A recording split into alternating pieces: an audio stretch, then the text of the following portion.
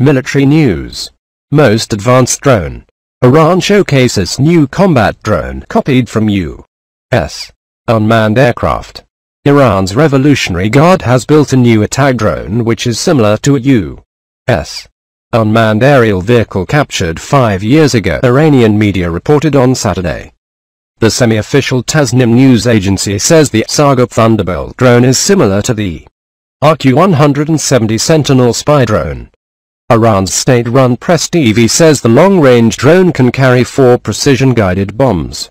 Neither report gave figures for the drone's range. Iran claimed to have shot down an RQ-170 drone used by the Central Intelligence Agency in December 2011 and broadcast footage of the recovered aircraft.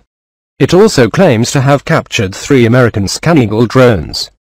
Iran said last year that it had successfully tested its replica of the RQ-170. Also on Saturday, Tasnim published photos of what it said was a U.S. made MQ-1C drone captured recently by the Guard. It did not say when or how the drone was captured.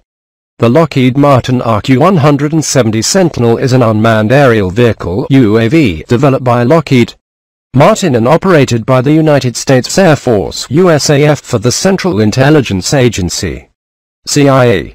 While the USAF has released few details on the UAV's designer capabilities. Defense analysts believe that it is a stealth aircraft fitted with aerial reconnaissance equipment. RQ-170s have been reported to have operated in Afghanistan as part of Operation Enduring Freedom. It has been confirmed that the UAVs have operated over Pakistan and Iran. Operations over Pakistan included sorties that collected intelligence before and during the operation which led to the death of Osama bin Laden in May 2011. In December 2011, the Iranian armed forces claimed to have captured an RQ-170 flying over Iran. The U.S. military has acknowledged losing an RQ-170 in the region.